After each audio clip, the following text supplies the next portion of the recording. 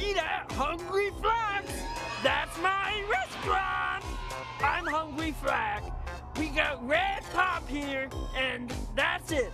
We just have red pop. No food. Stop asking for food. We don't have it. Hi, uh, I, I'm just wondering if I can order a burger? No! Hungry Flax!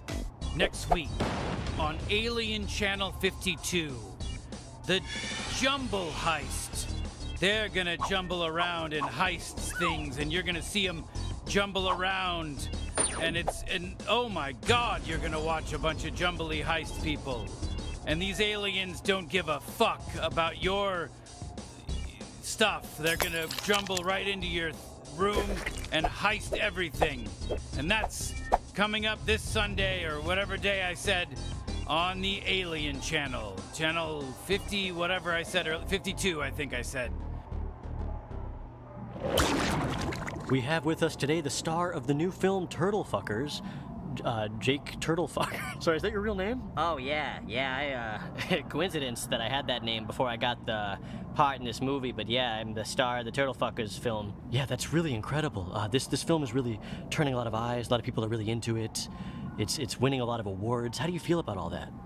I mean, honestly, for me, I mostly just was excited to fuck the turtles. You just wanted to fuck the turtles, huh? And it wasn't even about the money or the fame for you. That's right. It was only about fucking the turtles. Were the turtles okay with being fucked? Oh my god, yeah, I, I added in my contract. I don't want to fuck any turtles that don't want to get fucked. Hey,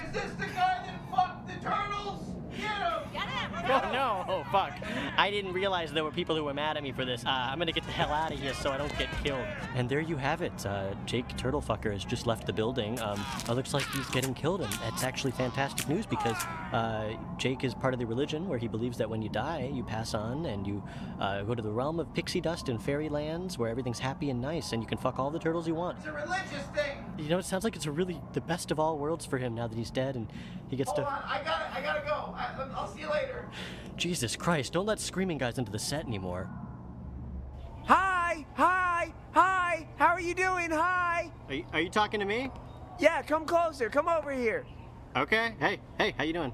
Uh, sorry. Why did you want to talk to me? Cause I think you're ugly.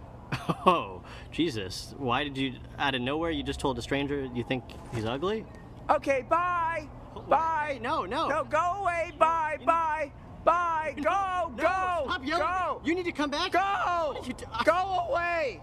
You called me ugly. Thanks for watching. You look ugly. Bye.